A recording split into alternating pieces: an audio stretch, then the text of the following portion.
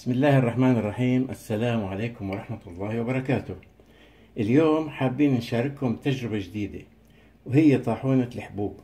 سمعنا إنه في طاحونة بتطحن الحجار وشفنا أفلام. حبينا نجرب وحبينا تشاركونا هاي التجربة وطلبناها عن طريق الإنترنت وفعلا ما طولت. رح نذكر كل التفاصيل بالفيديو أثناء تجربتها وهلأ رح نفتحها أمامكم ونشوف شو فيها. على بركة الله بسم الله الرحمن الرحيم.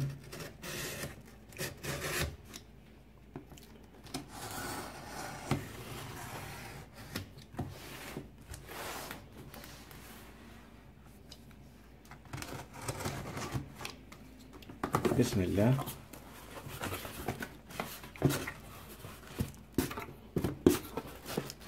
طبعا صار في تواصل بيننا وبينهم.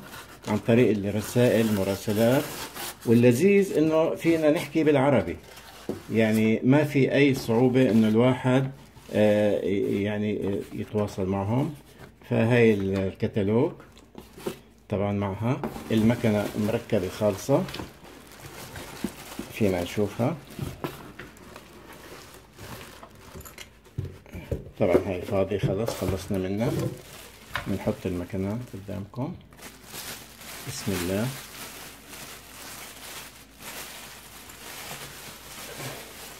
آه، بالنسبة للسعة آه، طبعا في سعات مختلفة. في 500 آه، جرام في 700 جرام في 1000 جرام في 2000 جرام مشكلة. وطبعا في معها معدات. إذا ملاحظين هاي الفرشاية للتنظيف. فينا نفتحها كمان قدامكم.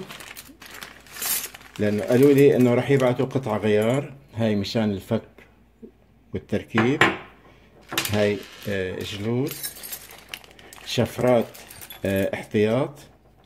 طبعا هي شفراتها مركبة. إذا ملاحظين نبعد المكان شوي. هاي شفرة وهاي شفرة تانية وهاي شفرة وهاي الفرشاة. شفرتين معناها كل وحدة شكل.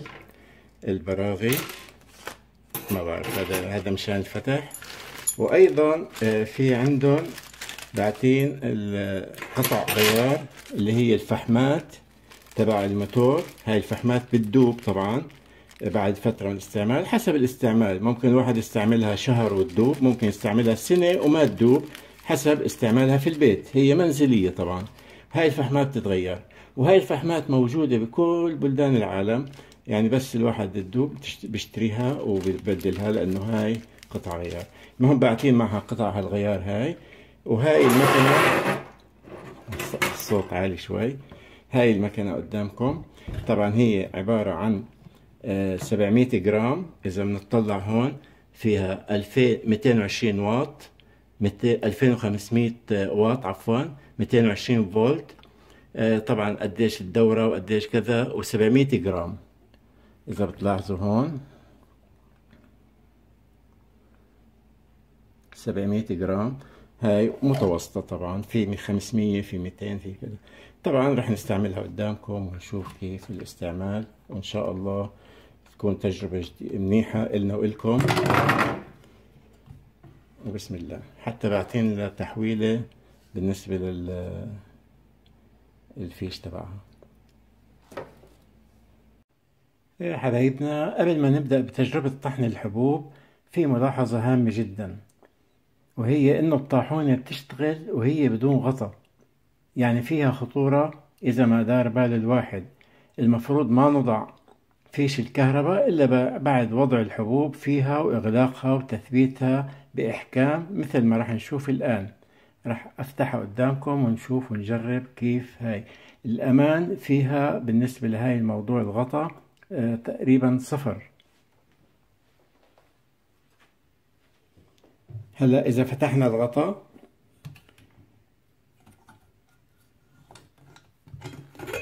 فتحناه طبعا الشفرات مبينة والواسعة ممكن الواحد يحط إيده فيها أو عم بحط الحبوب. فرضا كانت في الكهرباء. صعب إنه الواحد آه، يعني الأمان فيها ما كتير. هلا رح نشوف إنه هلا مثلا شغلناها. طبعا هاي سكرناها منيح.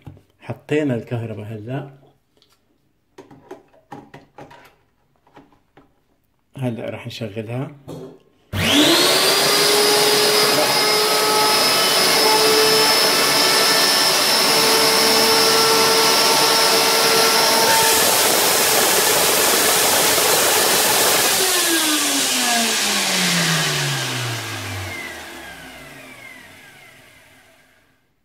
هاي ملاحظة خطرة كتير. هلا لا سمح الله الواحد عم بحط فيها أو عم بقيم أو عم بيساوي شيء أو عم بنظفها ومحطوطة بالكهرباء. يعني بتشتغل. دائرة صغيرة بتشتغل وهاي فيها خطورة كتير كتير كتير. وهاي طبعا رح أبعت هاي الملاحظة للشركة لأنه هاي فعلا سيئة آه، خطيرة خاصة اللي عنده أولاد. ما ممكن يستخدمها إلا باحتراز واحتياط كامل. إن شاء الله هيك يا رب. آه، طبعا يحمي الجميع بس هاي الشغلة أنا ما كنت أعرفها إنه ما فيها أمان بهالشكل هذا. يعني لازم لما تسكر هي تشتغل أو يعني تشتغل. على كل حال في عنا مؤقت هون.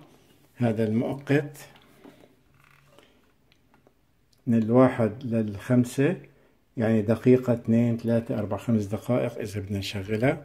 هلأ رح نجربها قدامكم. على كل حال يعني فيها سيئات فيها حسنات. رح أول شيء نقيمها من الكهرباء حتى ما أي خطورة. هاي طبعا خطوات السلامة. هلأ في عندنا بدنا نجربها. في عندي أنا آه، فول الصويا.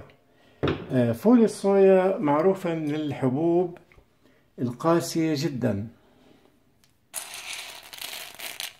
فغسلناها ونشفناها منيح منيح. جاهزة طبعا للطحن. هلأ بدنا نشوف. نطحنهم. هدول 350 جرام. شايفين هلأ أنا عم مثلا عم بوزعهم هيك. لا سمح الله إذا محطوطة الكهرباء بتكون صعبة كتير. فهلأ أنا ما حاطط الكهرباء. راح نثبتها. نسكر أول واحد نسكر الثاني. طبعا هذا لازم كمان نثبته لأنه قوية جدا. هلأ مادام سكرناها وما في حدا وهاي بنحط الكهرباء وراح نشغلها دقيقة واحدة حسب ما بعتقد يعني إنه تكفي. آه، إذا ما كفيت من رد من تابع بس مشان ما, ما نصرعكم كتير يعني لأنه صوتك فعلا كتير قوي. يعني فيها إذا بدنا نقول سيئتين السيئة الأولى إنه صوتها قوي وهذا إحنا سمعنا في قبل ما نشتريها إنه صوتها قوي لأنه هي قوية. السيئة الثانية واللي يمكن تكون لا تغتفر هذه إنه ما فيها أمان بالنسبة لتشغيلها بدون غطاء. هلأ رح أحط دقيقة ونشوف بدكم تتحملوا هالدقيقة معي. إن شاء الله تطلع النتيجة. أنا بدي أشغلها دقيقة ونضلنا متابعين. لأنه شفت أنا فيديوهات كثيره عم بيقولوا إنه حط فيها حجار وطحنها وبعدين ورجانا الغبرة. يعني حط طحين. ف وصاروا طبعا التعليقات وبتعرفوا كيف التعليقات. أنا راح شغلها دقيقة فعلا قدامكم وما راح أزحزح الكاميرا إلا لأفتحها ونشوف شو النتيجة مع بعض. بدنا نتحمل هاي الدقيقة حتى بس ما ننغش ونشوف كيف الأمور راح تكون. بسم الله الرحمن الرحيم.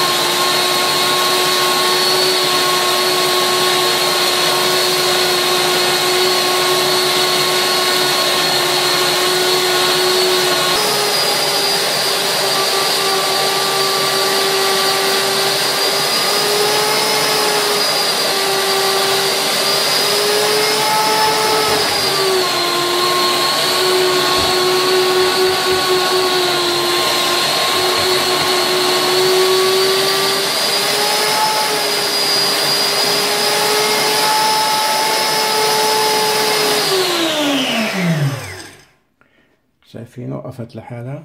على كل حال هاي النتيجة. هلأ بدنا نشوف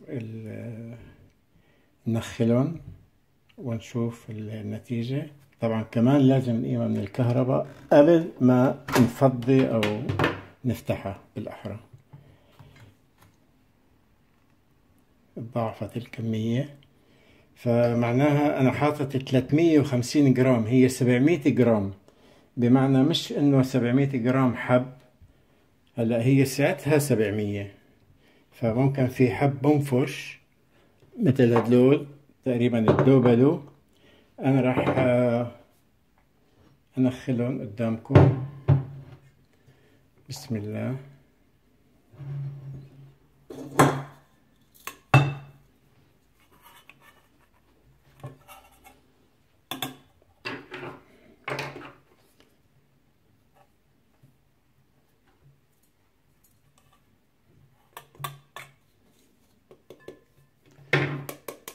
شوف التنخيل.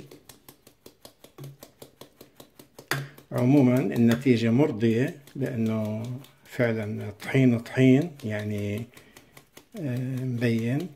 لكن يبدو كمان آه، ما بتتحمل 700 جرام لأنه هلأ مليانة آه، ب 350 جرام. فلو حطيت 700 جرام حب معناها إنه بتطفطف لبرا وما ما خرج.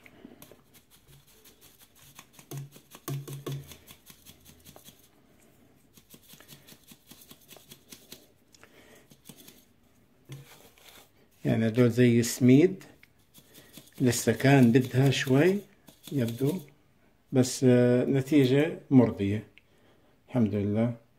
بنتابع آه، هلا هيك وإن شاء الله تكون عجبتكم والملاحظة تكون فادتكم لأنه أنا سمعت إنه بتطحن الحجر حبيت أجربها وتشاركوني هاي التجربة آه، منيحة لكن مش للبيت اللي فيه أطفال لأنه هاي ما فيها أمان.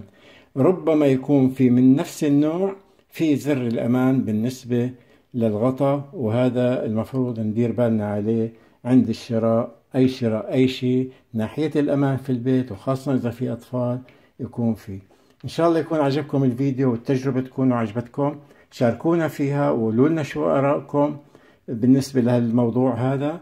وإن شاء الله آه، إلى لقاء قادم. واللي حابب يشاركنا بالقناة أهلا وسهلا فيه طبعا تشاركونا بالقناة. وبنشكر كل اللي عم بيتابعونا وعم بيشجعونا وتشجيعكم هو الأساس.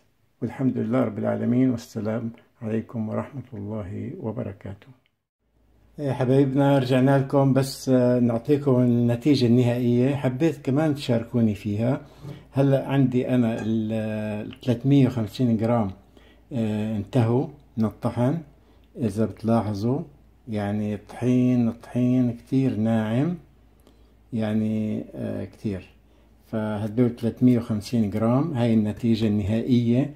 آه بالنسبة للبقايا ضل عندي تقريبا آه يعني شي جرامين أو أكتر شوي.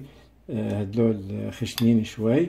وكنتيجة كنسبة إنه يضلوا هدول بالطحن طبعا نسبة يعني بسيطة ومقبولة. إنه يضلوا لأنه لو استمريت في الطحن أكثر ممكن كان ينطحنوا بس مشان ما نطول عليكم. وهاي النتيجة النهائية.